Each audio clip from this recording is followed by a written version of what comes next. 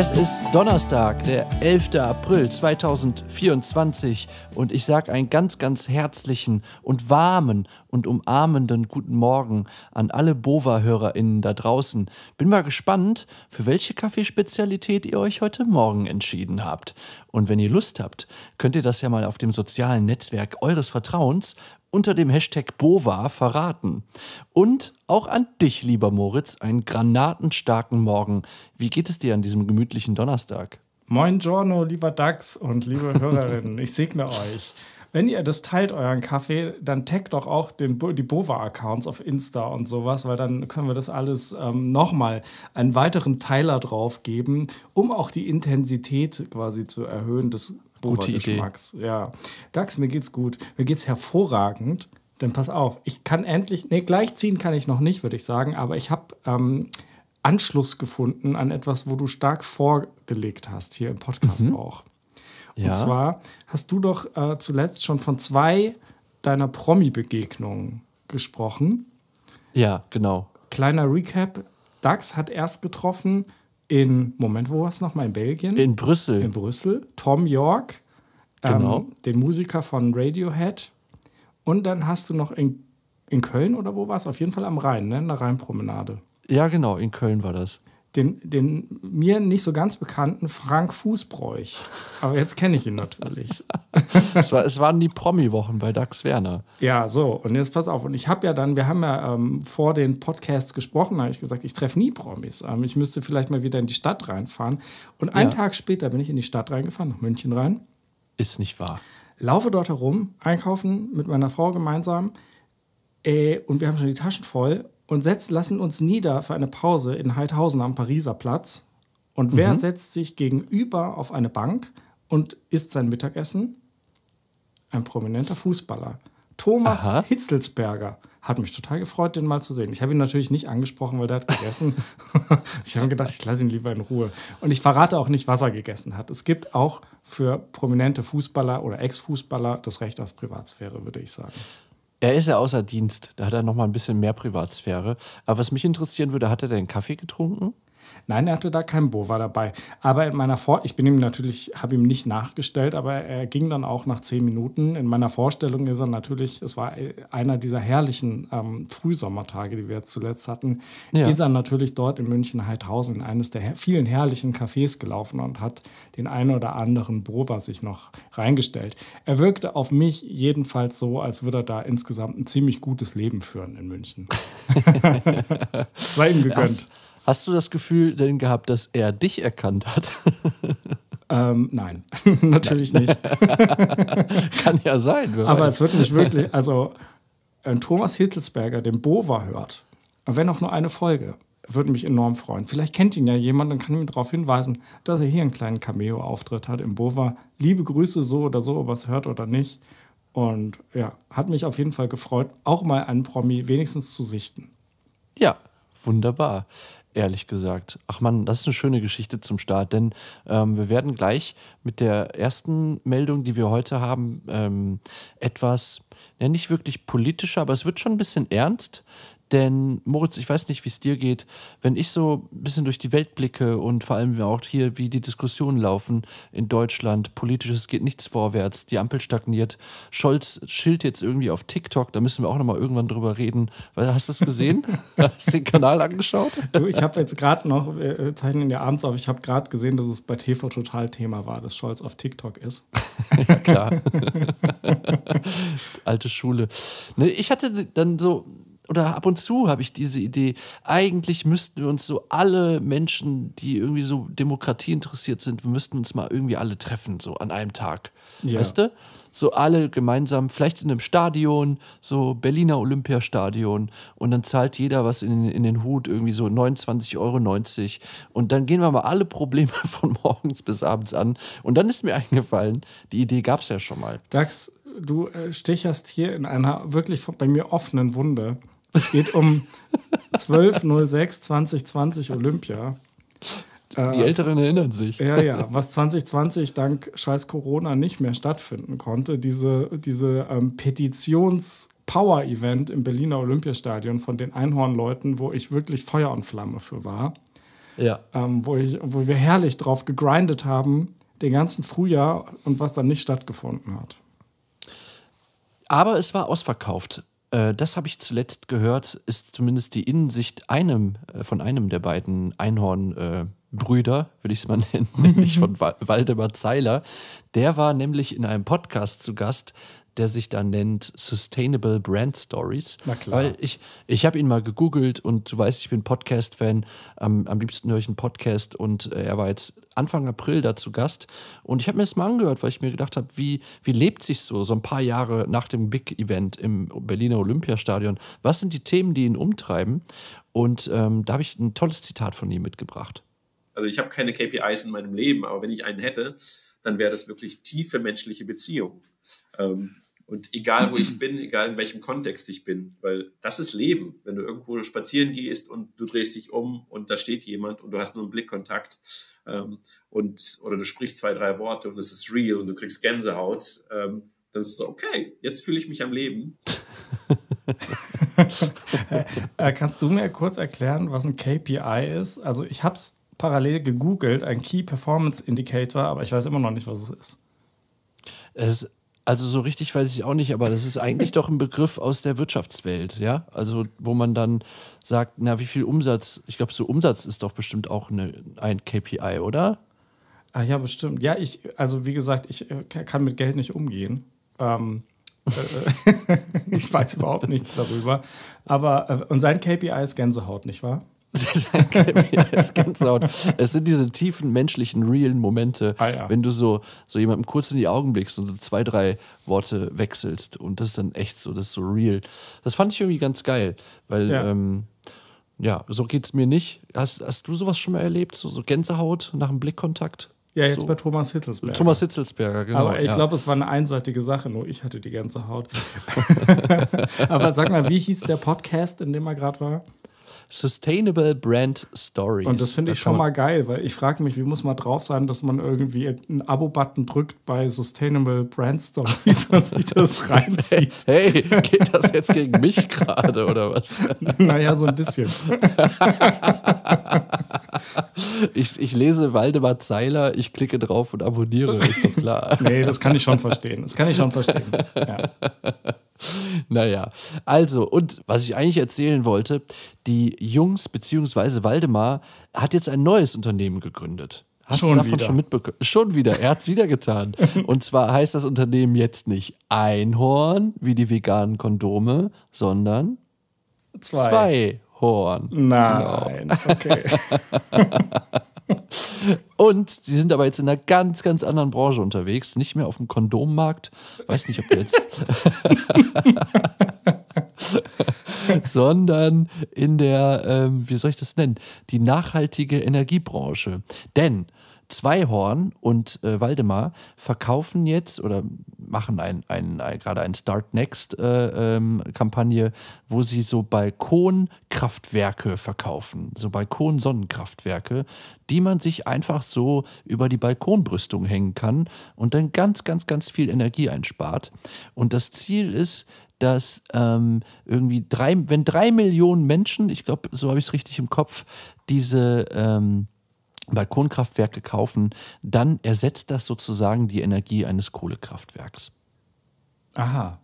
Ja, da gibt es Genau. da gibt's ganz viele von hier draußen am Stadtrand. Ähm, ich ich sehe viele. Ja, ja. Also man muss wirklich sagen, hier ähm, im Stadtrand München, jedes Dach ist solarifiziert oder wie man sagen soll. Und auch diese äh, Balkonkraftwerke sehe ich schon häufig, muss ich sagen.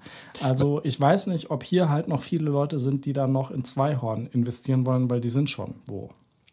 München, die Außenbezirke sind schon abgegrast, sagst du. Naja, wir können ja mal kurz in die Kampa ins Kampagnenvideo reinhören und danach können wir mal überlegen, ähm, ob die Leute da bei dir in den Outskirts in München überhaupt gemeint sind mit diesem Clip. Und dann würde mich auch interessieren, was du darüber denkst. Ich spiele es mal kurz ein. So einfach geht's. Panel anbringen. Zur Sonne ausrichten. Fertig. Dafür braucht ihr laut Gesetz nicht mal mehr einen Elektriker. Und die Mehrwertsteuer, die gibt's auch geschenkt. Und was wirklich geil ist, wenn drei Millionen von uns easy peasy ein Balkonkraftwerk aufhängen, dann können wir mit der erzeugten Energie ein Kohlekraftwerk ersetzen. Easy peasy, oder? Easy peasy. Also was ich jetzt, also als allererstes, der Clip ist total geil, wird hier in München nicht ankommen, weil da brauchst du irgendwie, du musst es mit Heimat verknüpfen, Blasmusik oder so. Also das richtet sich ja natürlich ganz klar an Berlin Mitte. Ja, aber genau. ich muss mal sagen, drei Millionen Stück, also in Berlin leben wie viel? Äh, vier Millionen Leute? Drei Millionen, vier Millionen? Irgendwie sowas? Können uns, könnt ihr uns ja mal schreiben, gummo.bonikawachmacher.de. Genau, aber drei Millionen Balkone, das sind ja ungefähr alle deutschen Millionenstädte kombiniert und jeder Mensch müsste eins haben, so, der einen Balkon hat und dann aber auch nur, brauchst du ja Nordausrichtung, bringt ja nicht viel. Also, das ist so, so viel um ein Kraftwerk, also das klingt für mich irgendwie, ist nicht so eine geile Werbung. Das hätte man irgendwie mit den Zahlen besser tricksen müssen, finde ich, um, um die Leute zu motivieren, weil drei Millionen ist super viel. Ich hätte echt gern mal in Fußballfelder ausgerechnet oder in, in Saarländer. Ja, genau. mir, fehlt, mir fehlt da ein bisschen der Vergleich.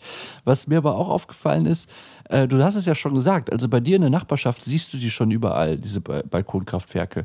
Und man fragt sich ja so ein bisschen, ja, was ist denn jetzt, äh, was ist denn die neue Idee sozusagen am Balkonkraftwerk von Waldemar Zeiler?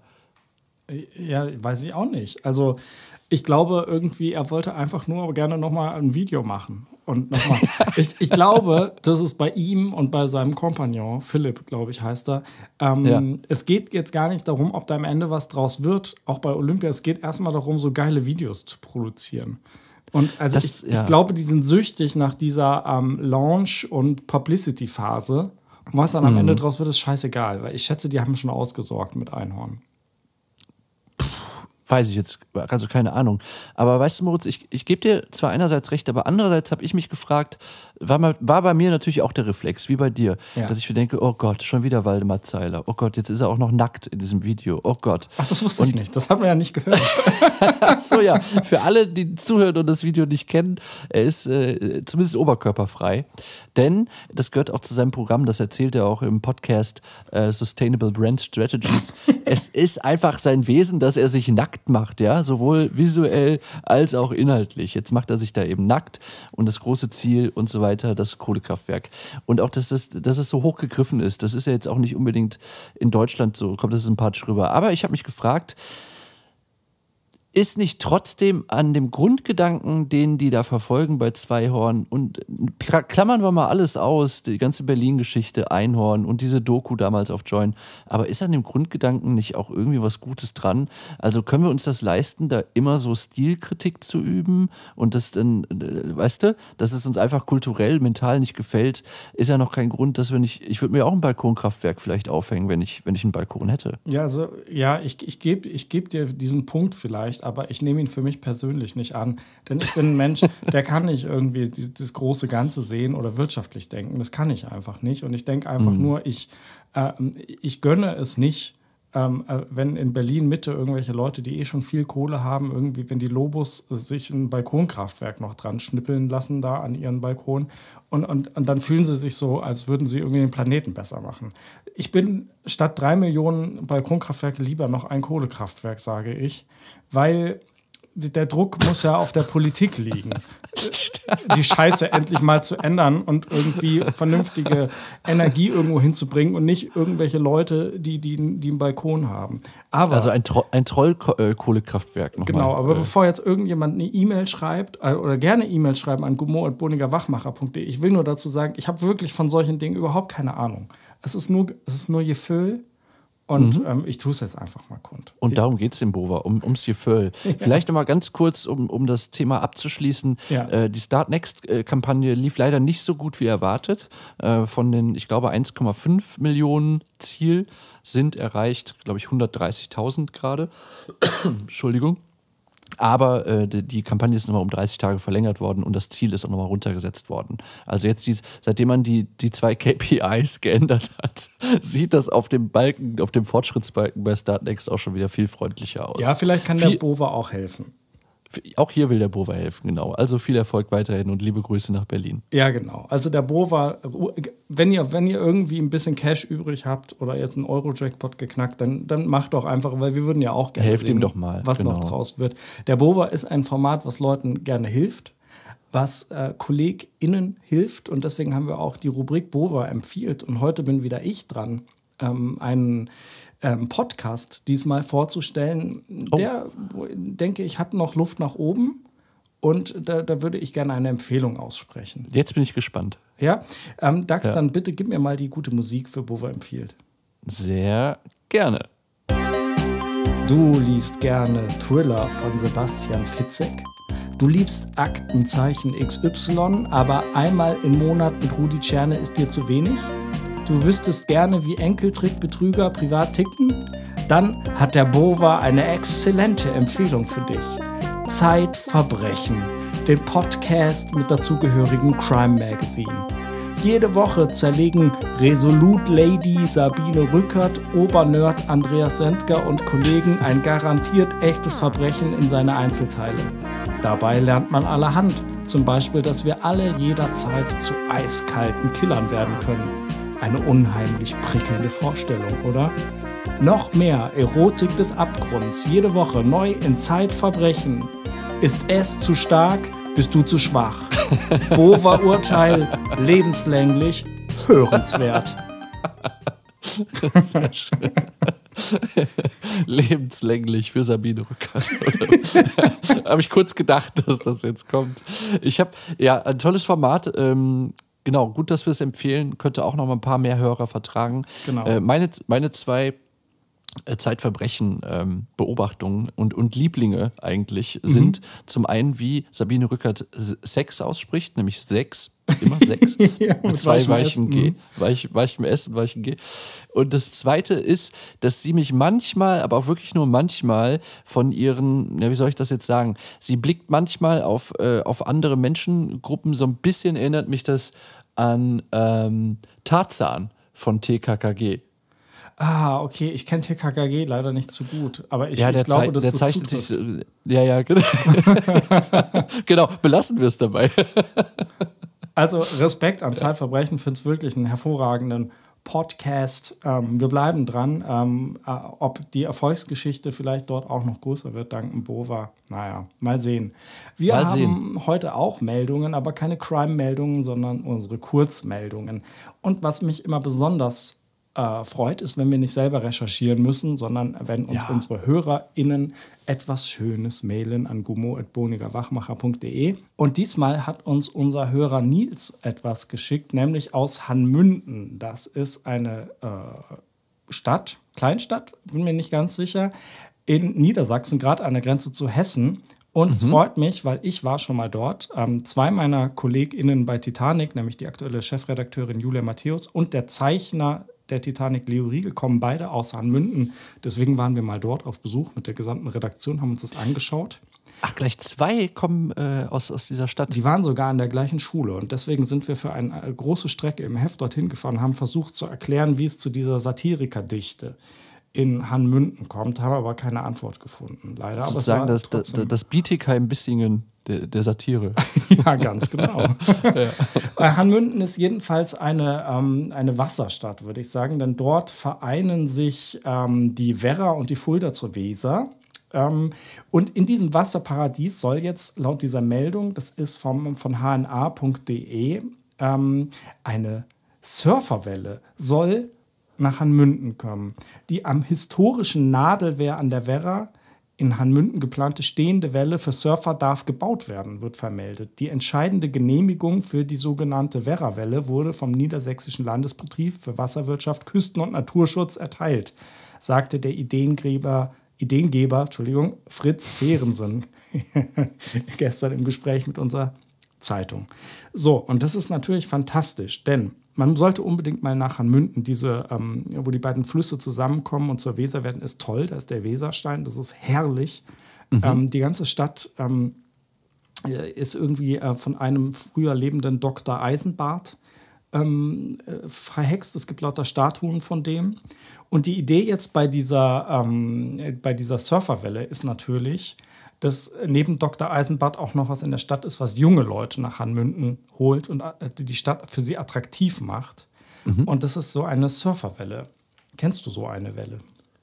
Ich habe die ehrlich gesagt, also ich habe sowas noch nie gesehen. Das einzige Mal, äh, dass ich das gehört habe, war, als du mir in München erzählt hast, dass es so etwas Ähnliches irgendwie in München auch gibt und dass da mal ein berühmter Musiker äh, tagsüber zum Surfen gegangen ist. Und dann hat Genau. sich eine große Ansammlung ge gebildet. Das ich weiß mal nicht mehr wer. Ja, das ist die berühmte Eisbachwelle. Die ist da beim, ähm, die ist am Südteil des englischen Gartens, ähm, Mhm. neben dem äh, legendären P1.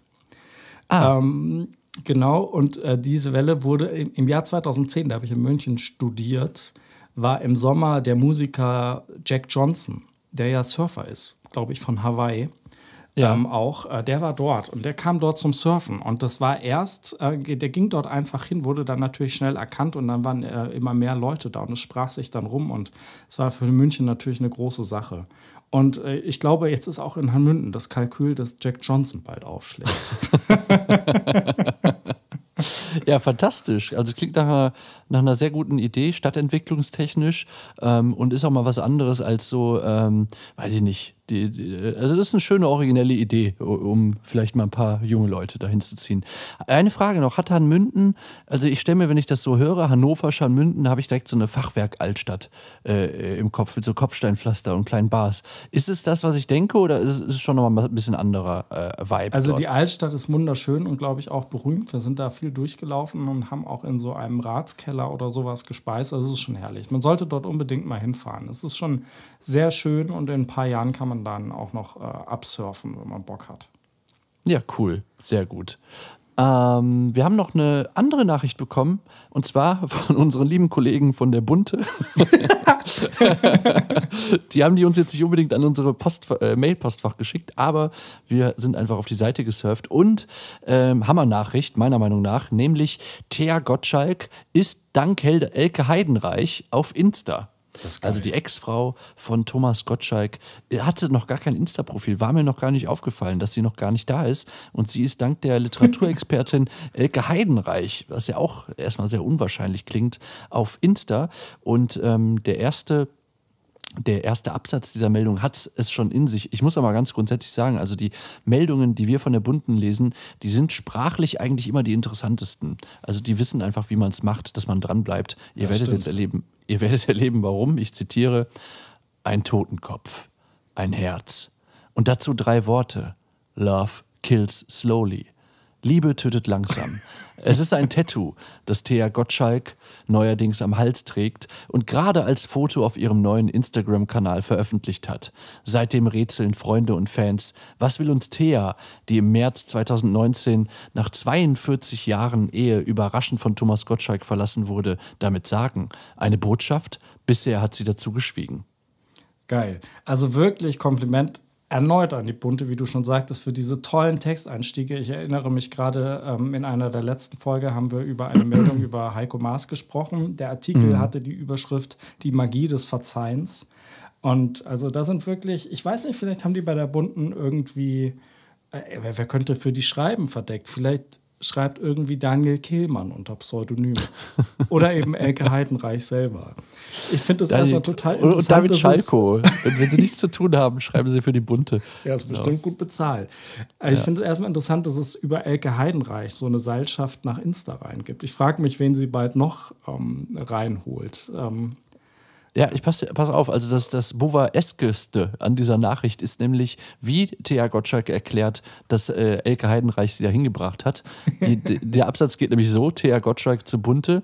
Elke Heidenreich ist schuld, dass ich jetzt mit Instagram angefangen habe. Ich habe sie in einer Talkshow gesehen, in der sie erzählt, dass sie auf Instagram postet. Da dachte ich mir, dann probiere ich das jetzt auch. Ich bin aber noch am Anfang und muss erst lernen, wie das geht und was man alles machen kann. Meine Freundin hilft mir noch dabei. Oh, Artikel ist Ende. Echt extrem liebenswert. Wenn ich Ja, noch nicht auf Insta wäre, würde ich jetzt hingehen wegen Thea Gottschalk. Und wir haben natürlich direkt geschaut, weil wir sind ja so Günter Klum geschädigt, dass wir, dass wir dann in unserem Bova-Mindset trotzdem schauen, na, was gibt's schon an, an Reels äh, und so weiter, was kann man sich vielleicht mal anhören und hier besprechen. Wir haben aber nur lieben Content von ihr gefunden. Unter anderem ein Reel, in dem sie mit ihrem Sohn, äh, ich wusste gar nicht, die, die, Thea und Thomas haben zwei sehr erwachsene Söhne, die auch beide wohl in den USA leben. Und mit einem dieser beiden Söhne spricht sie einfach mal ganz gemütlich übers Wetter in San Diego. Ja, Mama, wie geht's dir erstmal? Wie, wie hat's dir gefallen hier in, Ja, in es San Diego? Ist, ist schön, aber es ist auch ziemlich kalt. Ja. Natürlich nicht so kalt wie in Deutschland, aber sehr kalt hier. Das stimmt, ja, der San Diego Ja. Winter ist auch ziemlich kalt. Ähm, Der Santiago Herrlich. Winter. Das war Roman Gottschalk übrigens, der Golfer ja. ist. Der ist Husband, Dad und Golf, steht in seiner Insta-Bio. Ähm, Aber ist das, meinst, du, meinst du, er ist so ein Golfer? Sorry, dass ich unterbreche, aber meinst du, er ist ein Golfer, den man so richtig bei, es gibt auch diese Golfsimulation, PGA-Tours, Ja. dass man da einfach Roman Gottschalk spielen kann? Oder ist es eher so ein Hobby-Ding noch immer bei ihm? Weiß ich nicht. Ich, ich kann mir halt vorstellen, dass du als Sohn von Thomas Gottschalk ziemlich früh anfängst zu golfen. Das kann ich mir allerdings auch vorstellen. Deswegen glaube ich, dass er bestimmt gut ist. Also ich würde, wenn ich PGA-Tour spielen würde, würde ich auf jeden Fall Roman Gottschalk nehmen. Und das Lustige ist ja auch, dass dieses Reel, das, das Format nennt er ja Ask My Mother. ähm, und das, ist ja auch, die beiden sitzen ja auch in einem Golfkart, falls du das äh, gesehen hast. Also Nee, das habe ich noch nicht gesehen. das also finde ich schon kann. ziemlich geil, ja. Ja, voll schön. Ja, ähm, viel Erfolg weiterhin an Thea Gottschalk ähm, und viel, viel Glück für ihre Instagram-Karriere. Ja, man Wir merkt ja, bei Roman Gott, Entschuldigung, man merkt ja bei Roman Gottschalk auch direkt am Moderationstalent, dass er der Sohn von Thomas ist. Ich finde das so geil. So ein Reel darüber über das San Diego-Wetter. Dass es kalt ist, nicht so kalt wie in Deutschland, aber es ist halt kalt. Mehr, mehr muss ein gutes Reel auch nicht haben, meiner Meinung nach. Stimmt. Ja. Moritz, wir sind nominiert Oh Gott, wofür? für den, Für den Grimme-Preis. Für den Grimme-Preis, das wäre angemessen. Soweit sind wir noch nicht. Aber wir sind beim Deutschen Podcast-Preis nominiert. Und Ich zwar, auch sagen, ich erinnere mich gerade, ich habe uns ja eingereicht. Ach stimmt, du warst das. Also kann man eigentlich sagen, du hast uns registriert. Ja, genau. Aber wir nennen uns, aber es wird dann, damit es für alle nicht so peinlich ist, die auf dieser, dieser Liste stehen, werden sie dann Nominierte genannt. Ja. Genau. Wobei, es ist ja ein, ein dreistufiges Verfahren. Wir sind jetzt in sozusagen alle, alle, die sich registriert haben, können gewotet werden und die fünf Besten aus jeder Kategorie, die sind dann offiziell nominiert und da schaut dann noch eine Jury drüber und entscheidet dann, nach welchen Kriterien, I don't know, äh, wer da in den Kategorien gewinnt. So habe ich es bis jetzt verstanden. Was ich interessant finde, ich konnte nicht herausfinden, ob es ein Preisgeld gibt. Aber ich habe mich jetzt entschlossen, oder wir haben ja schon vorher kurz gesprochen, wir haben uns entschlossen und wir sagen jetzt offiziell, wir nehmen die Nominierung nicht an. weil der Bova ist einfach schon zu steil auf dem Weg nach oben, um in der Kategorie ähm, Newcomer, da sind wir nämlich drin, Es fühlt sich falsch an. es fühlt sich falsch an. Wir wollen anderen, die den, die, für die das eine große Sache ist, den Platz nicht wegnehmen. Genau. Ähm, ich habe mal durchgeschaut, wer so dabei ist. Und unter anderem ähm, sind dabei Augstein und Blome und die Familie Fercici, also Bushido und Frau. Gysi und Gutenberg. Ja. Und, Und das sind für mich alles ganz neue Gesichter am Podcast-Markt. Also da- dann trete ich auch gerne einen Schritt zurück. genau, und deswegen würde ich auch sagen, auch äh, Tommy Schmidt mit Copa TS und Liebe ich glaube, Hotz und Humsi sind schon dabei, Ah, nicht ja. wahr? Ja. Ähm, deswegen würde ich sagen, wählt bitte bei dieser Abstimmung nicht den Bova, liebe Bova-Fans, sondern schenkt eure Stimme einem von diesen aufstrebenden jungen Leuten. bitte. Genau. Wir Bitte. brauchen das nicht mehr. Macht es Ja. einfach. Auch hier, auch hier Bova hilft, Bova empfiehlt. Und ähm, wir können ja mal die nächsten Tage einfach auch mal so ein paar ausgewählte Formate in unserer Instagram-Story, äh, Boniger Wachmacher ist da der Account, featuren mit einem kleinen Link, dass ihr dann die entsprechenden Formate vielleicht ähm, unterstützt bei der Genau. Nominierungsphase. Jeden Tag eine gute Tat. Und wir haben heute am Donnerstag genug gemacht, finde ich. Wie gesagt, Finde wir sehen uns auf Insta.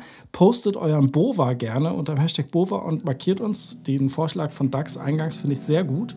Ja. Und ich würde ansonsten sagen, das war's. Und bis Montag, liebe Leute, habt ein wunderbares Wochenende. Ich liebe euch, ich segne euch. Ich liebe euch auch. Bis Montag. Tschüss. Tschüss.